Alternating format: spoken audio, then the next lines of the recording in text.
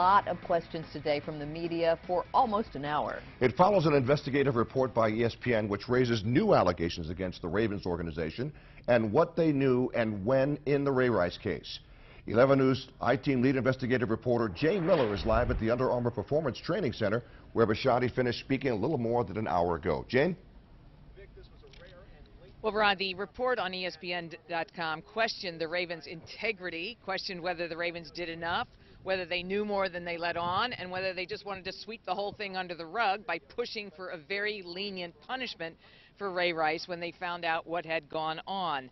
The uh, Ravens responded really on two fronts today. First, with an eight-page letter message to Ravens fans, as they call it, and then with the uh, with the 50-minute uh, news conference by Ravens owner Steve Bisciotti, something he does not normally do. Here are the highlights of what Bisciotti said. First, Coach John Harbaugh did not want Ray Rice cut until the second video came out. The Ravens did not push the NFL for leniency for Rice. According to the uh, Ravens chief of security, Darren Sanders, who's quoted in the document that the Re Ravens released today, Rice said he slapped Janay Palmer. That's what he told the chief of security. He denied punching her. And as you heard Bisciotti say right at the top of the newscast, no one here, meaning the Ravens organization, is going to be fired.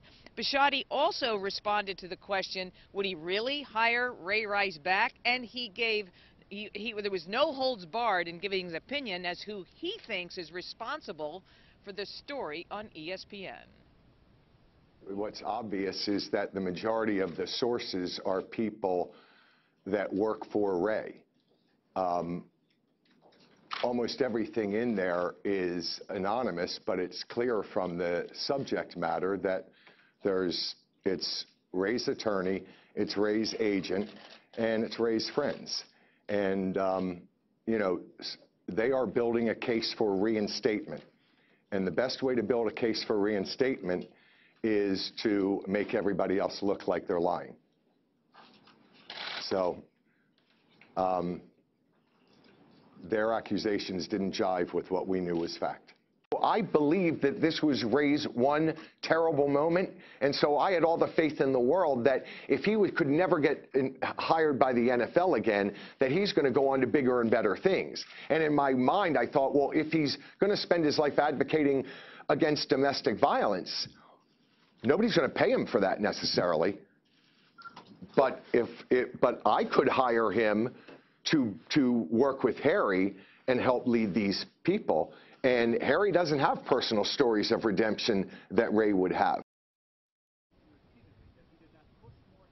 Joining me now is sports director Gerry Sandusky, voice of the Ravens. He was uh, present when John Harbaugh went to the podium following Bisciotti. Bisciotti finished about 450, and uh, Gerry was covering John Harbaugh. Coach Harbaugh was asked early in his press conference if he felt his team was unfairly under siege, and his response was interesting. He said he didn't feel his team was under siege at all. The coach said being in pro football at this level, being second-guessed, being criticized, facing constant attention and scrutiny is part of the profession.